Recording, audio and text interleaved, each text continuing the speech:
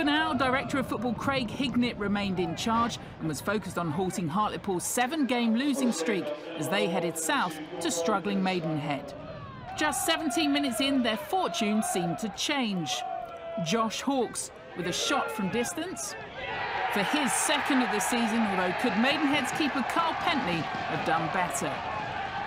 Maidenhead were looking to avoid a fifth home defeat on the spin, and their hopes of finding a way back weren't helped when James Comley was shown a straight red five minutes after half-time for this challenge on Luke James.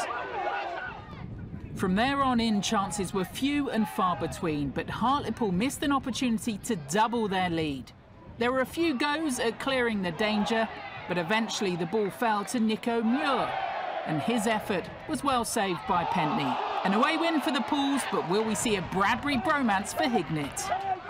Can't shed any light on anything at all. Um, that's something that hasn't been decided yet, but obviously we'll continue to talk to people and we'll pick the best candidate that we feel is right for the football club.